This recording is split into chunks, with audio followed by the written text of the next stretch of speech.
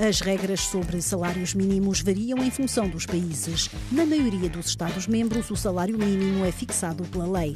Nos restantes países, é fruto de acordos sindicais. Existem grandes disparidades ao nível dos valores do salário mínimo mensal.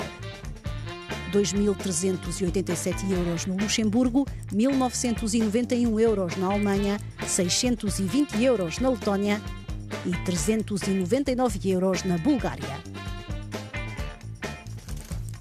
A nova diretiva da União Europeia tem dois objetivos: garantir um salário mínimo adequado para que cada trabalhador tenha um nível de vida decente, aumentar o recurso à negociação coletiva. Garantir salários mínimos adequados é especialmente importante para as mulheres, os migrantes e as pessoas com menos formação.